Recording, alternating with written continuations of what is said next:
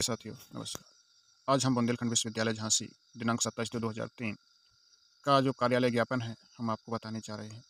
तो यथा द्वारा आदेश अनुसार छात्र 2022 देश के जो प्राइवेट स्टूडेंट्स हैं छात्र छात्राएँ के लिए स्नातक स्तर के बी ए बी कॉम पाठ्यक्रमों के प्रथम सेमेस्टर और स्नातक स्तर के एम ए एम कॉम पाठ्यक्रमों के प्रथम सेमेस्टर की निम्नलिखित विषयों की व्यक्तिगत परीक्षा के आवेदन, दिनांक सत्ताईस दो दो हज़ार तीन से दस तीन दो हज़ार तेईस तक। विश्वविद्यालय की वेबसाइट के माध्यम से पूरे किए जाएँगे, यानी भरे जाएँगे।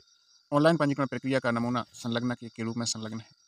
तो व्यक्तिगत परीक्षा के हेतु स्नातक स्तर के बी ए पाठ्यक्रम के विषय अर्थशास्त्र हिंदी साहित्य, अंग्रेज़ी साहित्य, उर्दू साहित्य, संस्कृत साहित्य, इतिहास, राजनीति शास्त्र और समाजशास्त्र एवं परास्नातक स्तर के एम ए पाठ्यक्रम के विषय में अर्थशास्त्र, हिंदी साहित्य, अंग्रेज़ी साहित्य, उर्दू साहित्य, संस्कृत साहित्य, इतिहास, राजनीति शास्त्र व समाजशास्त्र तथा स्नातक स्तर के बी कॉम पाठ्यक्रम और एम कॉम पाठ्यक्रम के लिए वाणिज्य विषय उपलब्ध होंगे। परीक्षार्थियों की परीक्षा नई शिक्षा नीति दो हज़ार बीस के अंतर्गत विश्वविद्यालय द्वारा संपन्न कराई जाएगी। इस संबंध में विषय भवन के पाठ्यक्रम सहित विस्तृत निर्देश विश्वविद्यालय की वेबसाइट पर उपलब्ध है।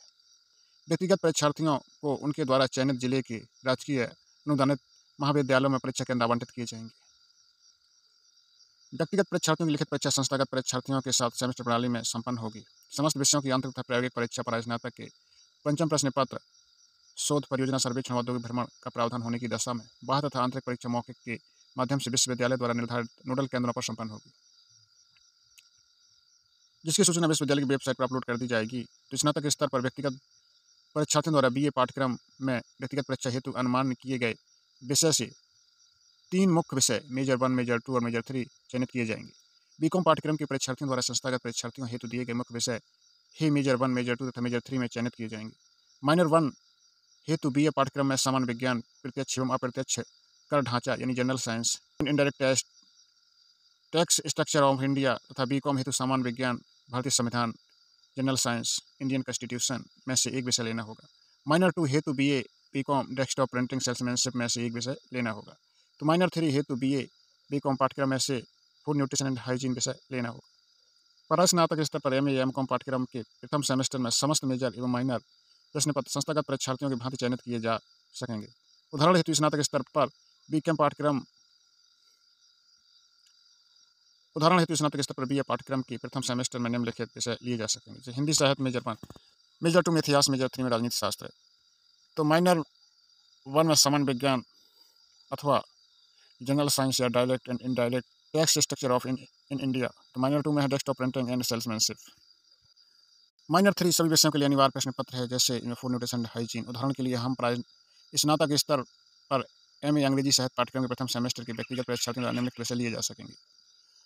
अंग्रेज़ी प्रथम सेमेस्टर पाठ्यक्रम तो मेजर वन में, जैसे पोएट्री है, और मेजर टू में है ड्रामा मेजर थ्री में है फंक्शनल ड्रामा मेजर फोर में है प्रोज ड्रामा उक्त चार चार मेजर विषयों के लिखित प्रश्न पत्र तथा पंचम मेजर प्रश्न पत्र के रिसर्च प्रोजेक्ट के स्थान पर एक मौखिक परीक्षा का प्रश्न पत्र चयन किया मौके परीक्षा का प्रश्न पत्र चयनित किया जाएगा। उक्त के साथ ही परीक्षार्थी द्वारा संस्थागत परीक्षार्थियों की ही भांति विज्ञान वर्ग में चार प्रश्न पत्र, वाणिज्य वर्ग में दो प्रश्न पत्र और आंतरिक विषय वर्ग के चार प्रश्न पत्रों में से कोई एक, अर्थात दस प्रश्न पत्रों में से कोई एक वैकल्पिक प्रश्न पत्र माइनर वन प्रश्न पत्र के रूप में चयनित किया जाएगा।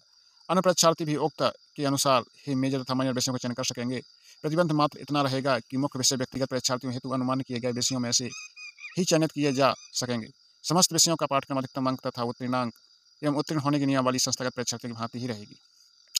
दो हज़ार बीस में समस्त विषयों में आंतरिक परीक्षा का प्रावधान है तथा व्यक्तिगत परीक्षा हेतु अनुमान किए गए विषयों में कुछ विषय में कुछ सेमेस्टर के प्रायोगिक का प्रावधान है। यहाँ व्यक्तिगत परीक्षार्थियों की लिखित प्रायोगिक परीक्षा में निर्धारित आंतरिक परीक्षा कुल पच्चीस अधिकतम अंकों में मौखिक के आधार पर विश्वविद्यालय द्वारा निर्धारित नोडल केंद्रों पर निम्न निर्धारित तिथियों में संपन्न होगी। लिखित परीक्षा पचहत्तर अंकों की संस्थागत परीक्षार्थियों के साथ संपन्न होगी तथा प्रश्नातक प्रथम सेमेस्टर के पंचम प्रश्न पत्र की ही मौखिक परीक्षा पचहत्तर अंकों की विश्वविद्यालय द्वारा निर्धारित नोडल केंद्रों पर बाह्य आंतरिक परीक्षकों द्वारा निर्धारित विषय संपन्न होगी तो व्यक्तिगत परीक्षार्थियों के आवेदन करने का शुल्क नियमानुसार है।